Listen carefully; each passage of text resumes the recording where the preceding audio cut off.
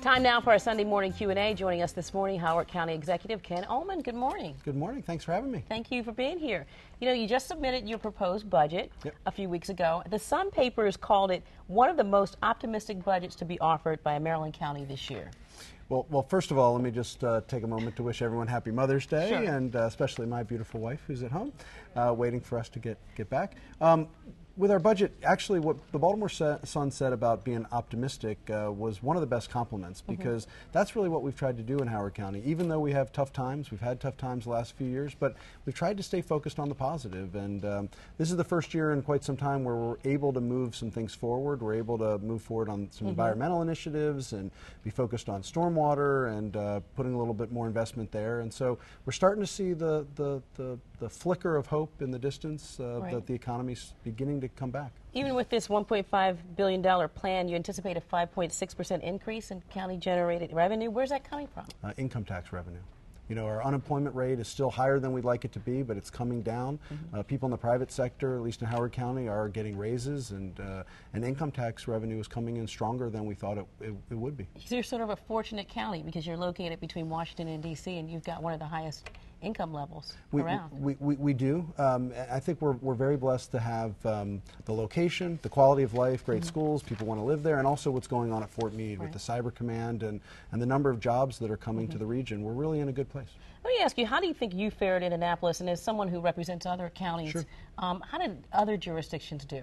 Sure, and as, as president of the Maryland Association Right. of Counties, it was a, a great session. Um, it was a tough session, but um, we, it could have been a lot worse. You know, the governor did not put in the shift of teacher pensions to local governments, which would have been a, a huge burden that, that frankly couldn't have been met by many counties. So it was a tough time. We uh, still lost uh, a lot of transportation funding, but it could have been a lot worse. Okay.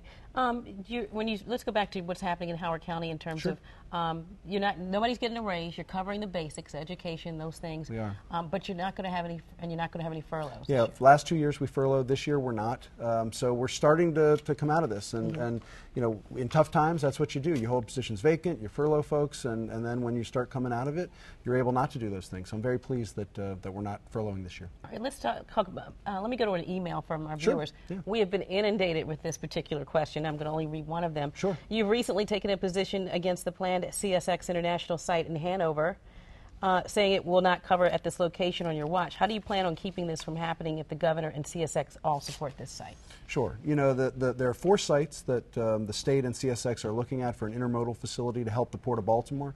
I support the Port of Baltimore. Uh, it's important for the jobs there and also for the region. Uh, but I said from day one to CSX and to MDOT that they had to show that whatever site they picked didn't have a negative impact on uh, existing communities. And so far, they haven't shown that. And so uh, we're going to continue to work through this process. I don't believe it'll go to Elkridge because of uh, the, the impact on the existing communities. There's another site in Howard County that uh, we're hoping they take a stronger look at. Where's that particular site? Uh, in Jessup, um, uh, Montevideo Road, and the good thing about that site is there are no residential units uh, very close to it. A lot of warehouses, a lot of industrial, so we think it's a better fit. Okay, all right. And let's uh, tell, tell me about what you did at the White House. You were at the House. the White Sure, House last sure. I was uh, pleased to be asked as a group of 65 county leaders from across the country to go uh, spend the day at the White House uh, with uh, much of the cabinet, the vice president, and it was a lot of give and take about. Um, frankly, they appreciate uh, what counties do. You know, they set policy, and we're the ones who implement on the ground. And so it was a lot of discussion about homeland security, about infrastructure, and uh, it was good give and take. And I'm glad the administration appreciates the role that counties play. Well, it's interesting that you were there last week, considering the whole situation with Osama bin Laden. And we're talking about increased security in so many ways. Sure. Howard County is right in the middle of Sure. a major security um, enclave that you want to make sure you protect. Fort Sure, Meade. absolutely, and and I'm and I, I must say I'm very proud. Especially the Sun has an article this morning about um, the role that NSA played NSA? Uh, in uh, in the search and uh, and. Uh, killing of uh, Osama bin Laden. So we're, we're in the heart of uh, a very important national security uh, interest for Exactly. our, for I our mean, nation. I mean, people forget of the, all the bedroom communities that we have that are related to national security, from the Fort Meade NSA and and other places that A- are working on that on defense issues. Absolutely, and the cyber command that's being stood up. When you look at what happened in the, cap- in the, in the killing of Osama bin Laden, it was all that intelligence data, much of which happens at, at Fort Meade. So we're very pleased, and it means jobs for the future. All right. So, what are you going to do for Mother's Day? We're going to have a great day, even though Tony says it's going to rain a little bit, I think. Uh, we're still going to have a great day.